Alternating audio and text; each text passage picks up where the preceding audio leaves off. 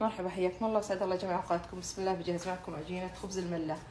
أه سواء تحطونها في صينية كاملة وبعدين تزينونها بالتمر وجبن بعد ما تستوي أو تحطونها خبز صغير أه تحشونها جبن وتمر مباشرة على طول. اللي يناسبكم. عندي هنا كوب ونص طحين بر ونص الكوب طحين أبيض كوب ماء تضيفونه بالتدريج طبعا. أه نص الملعقة ملح ونص الملعقة كركم وملعقة سكر وملعقة خميرة غير مليانه وملعقة بكنج بودر صغيرة. ملعقتين كبيرة حليب بودرة ملعقتين كبيرة زيت زيتون أو زيت عادي. جميع المقادير بحطهم في حوض العجان وأعجنهم. وبخليها ربع ساعة فقط. بعدين أحشيها بالتمر والجبن. نغمسها ونغطي الوجه أو ندهن الوجه بحليب مبخر ونرش عليه سمسم وحبة سوداء وشمر. ونخليها في الصينية تتخمر مرة ثانية لمدة ربع ساعة. يعني ربع ساعة في العجانة وربع ساعة بعد ما نحشيها. وتدخلونها الفرن. بعد ما تستوي تسقونها بعسل وسمن أو بدبس تمر حسب ما يناسبكم. جدا لذيذة وجربوها إن شاء الله تعجبكم. بألف راح أضيف جميع المقادير في حوض العجانة كوب ونص طحين بر. ممكن تخلونه كله بر. الأفضل خلطة. نص الكوب أبيض. ملعقتين حليب بودرة.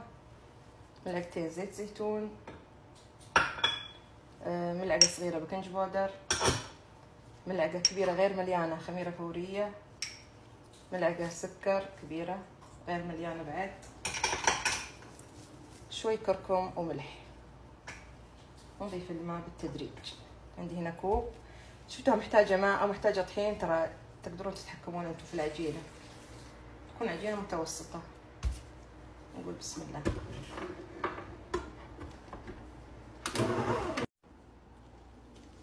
شايفين قوام العجينة كيف؟ تكون لينة. يفضل إنها تكون لينة كذا طرية.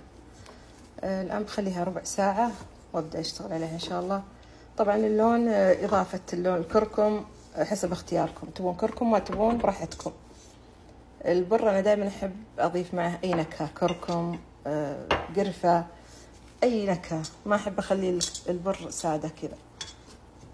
شايفين قوامها كيف؟ مرة لينة. ربع ساعة إن شاء الله وأرجع أشتغل فيها. عندي هنا جهزت التمر والجبن اللي بحطه فيها. عندي الآن التمر جاهز والجبن الحليب المبخر وهنا السمسم وحبة سوداء وشمر.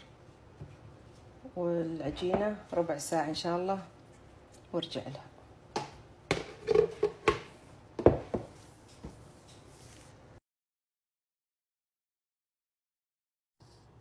مرحبا رجعنا لكم. بعد ربع ساعة تقريبا. ممكن تشتغلون فيها على طول يعني تاخذون وتحشون أو إذا تبون مقاساتها تصير وحدة الأفضل تكورونها. المقاس اللي ترغبون. أو تاخذون على طول تحطون الحشوة التمر والجبن. بس أنا أفضل إني أكورها تكون مقاس متساوي.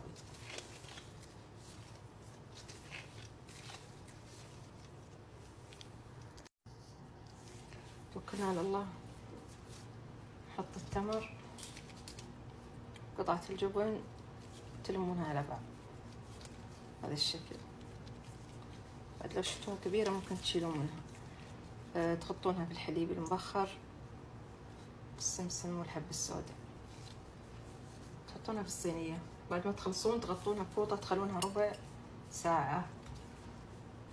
بعدين تخبزونها بالفرن. وتسقونها بالعسل والسمن أو دبس التمر. جدا لذيذة. هذه من الأطباق الشتوية اللي نصلحها السنة اللي فاتت.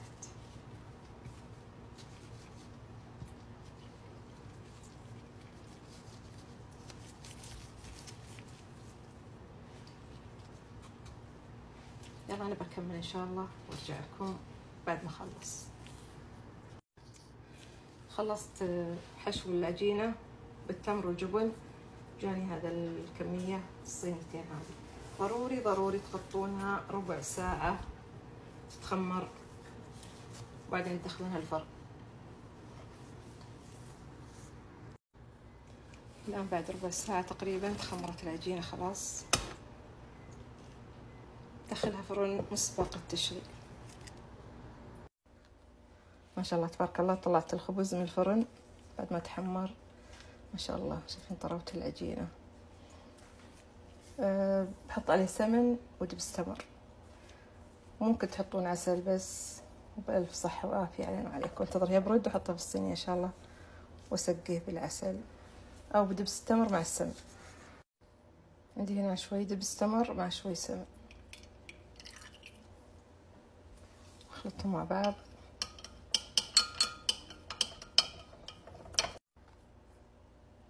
صبيت عليه من دبس التمر مع السمن ممكن تخلونها بالعسل وممكن تخلونها أيضا بدون بس جربوها مع دبس التمر جدا لذيذة.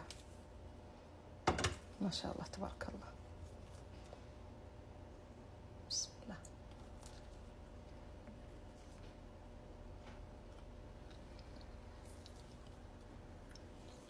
طعم لذيذ لذيذ جدا.